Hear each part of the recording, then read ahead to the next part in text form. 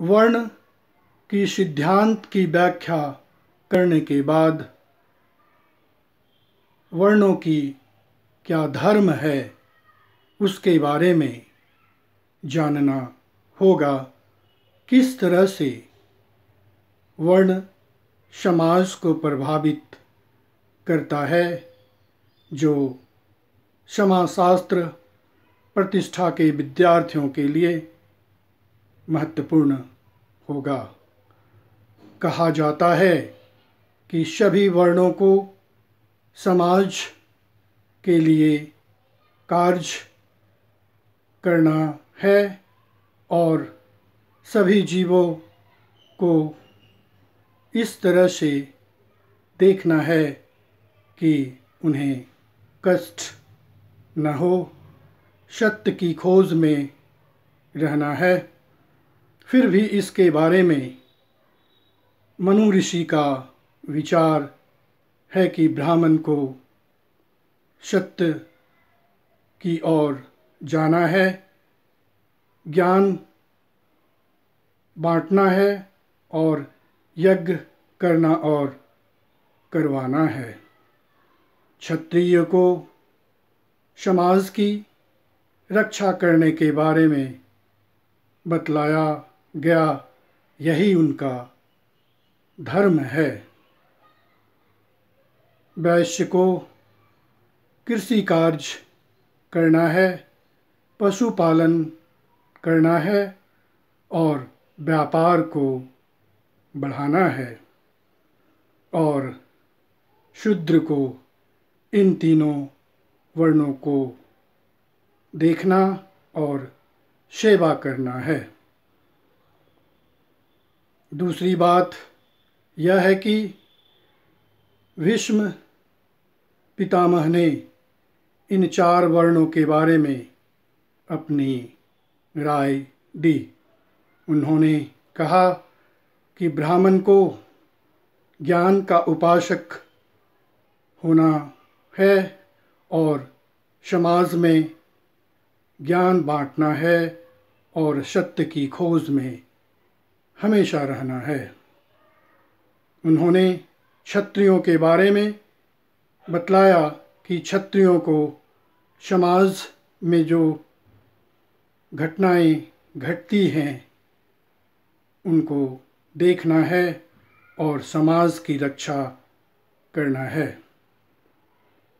वैश्य को कृषि कार्य में लगने के लिए कहा गया है और वो इस तरह से कार्य करें जिससे व्यापार बढ़े।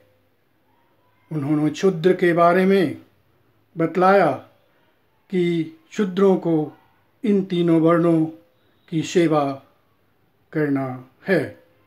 उन्होंने यह भी बतलाया कि क्षुद्र को धन संग्रह नहीं करना चाहिए। क्योंकि अगर वह धन संग्रह करेगा तो तीनों वर्ग इनके अधीन हो जाएगा और वो पाप के भागी होंगे। इसलिए उन्हें इन तीनों वर्णों की सेवा करना है।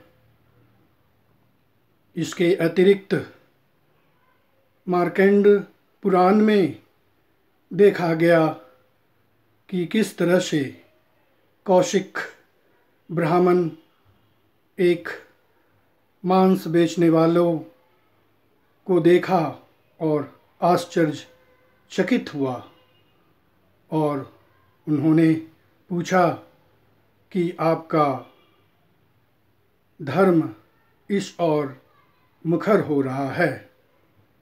वो एक महान शिकारी व्यक्तित्व हुआ करते थे।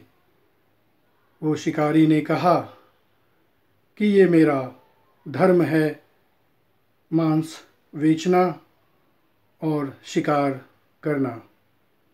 और इस तरह से कर्म के आधार पर मुझे इस तरह की कार्य करना पड़ता है। वो शिकारी इस तरह से उस ब्राह्मण को समझाया और यही कर्म का सिद्धांत के बारे में बतलाया। कहने का तात्पर्य यह है कि पहले जो वर्ण व्यवस्था हुआ करती थी, वो कर्म के आधार पर आगे बढ़ी और आज उसी के अनुरूप यह कार्य चल रहा है और इन चार वर्णों की यही धर्म है। और इस तरह से समाज में ज्ञान, रक्षा, जीविका और सेवा समाज में इसकी नितांत आवश्यकता है। यही उन चारों की धर्म व्यवस्था है। धन्यवाद। अब मैं आपसे रिक्वेस्ट करना चाहूँगा, इस व्यूज़ को लाइक और सब्सक्राइब करें और शेयर करें। धन्यवाद।